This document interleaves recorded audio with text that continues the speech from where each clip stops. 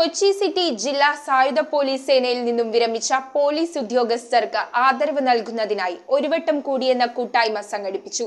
ജില്ലാ പോലീസ് സായുധ സേന കൊച്ചി സിറ്റി വിഭാഗം കമാൻഡന്റ് കെ സുരേഷിന്റെ നേതൃത്വത്തിൽ സംഘടിപ്പിച്ച കൂട്ടായ്മയിൽ നൂറോളം ഉദ്യോഗസ്ഥരെയാണ് ആദരിച്ചത്. ജില്ലാ പോലീസ് സായുധ സേന കൊച്ചി സിറ്റി വിഭാഗം കമാൻഡന്റ് കെ സുരേഷ് സംഘടിപ്പിച്ച ഒരു വട്ടം കൂടിയെന്ന കൂട്ടായ്മയുടെ നേതൃത്വത്തിലാണ് കൊച്ചി സിറ്റി ജില്ലാ സായുധ പോലീസ് സേനയിൽ നിന്നും വിവിധ കാലയളവിൽ വിരമിച്ച പോലീസ് ഉദ്യോഗസ്ഥരെ ആദരിച്ചത്. കൊച്ചിൻ സിറ്റി പോലീസിന്റെ ഭാഗമായ മറൈൻ ഡ്രൈവ് തൃപ്പൂണിത്തറ എന്നീ ഡിസ്ട്രിക്ട് ഹെഡ്ക്വാർട്ടർ വിങ്ങുകളിൽ നിന്നും പെൻഷനായവരെയും ദീർഘകാലം ജോലി ചെയ്തവരെയും നിലവിൽ സർവീസിൽ തുടരുന്നവരെയും ഉൾപ്പെടുത്തിക്കൊണ്ട് ഒരു കൂട്ടായ്മ ഒരു വട്ടം കൂടി ഈ തിരുമുറ്റത്ത് എന്ന പേരിൽ രണ്ടായിരത്തി ഇരുപത്തിനാല് മാർച്ച് മാസം രണ്ടാം തീയതി Cochin city marine drive D H Q വെച്ച് നടത്തപ്പെടുന്നു.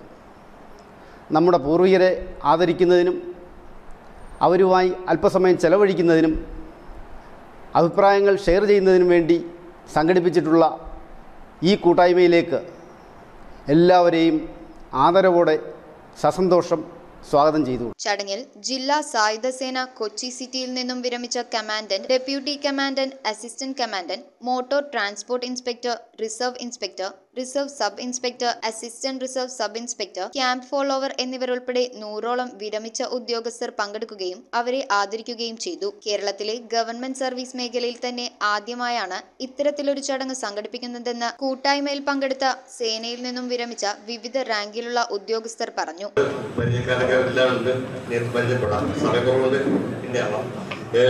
ഈ ഒരു സംരംഭം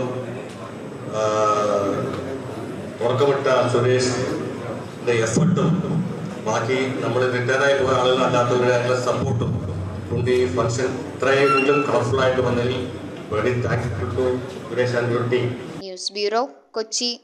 സ്വർണം മണപ്പുറം ലോക്കറിൽ വെക്കൂ. ഓൺലൈൻ ഗോൾഡ് ലോൺ ആപ്പും ഡൗൺലോഡ് ചെയ്യൂ. സ്വർണം മണപ്പുറം അങ്ങനെ സ്മാർട്ട് ആകൂ എവിടെയും എപ്പോഴും സ്മാർട്ട് ആകൂ മണപ്പുറം ഓൺലൈൻ ഗോൾഡ് ലോൺ സ്മാർട്ടാണ്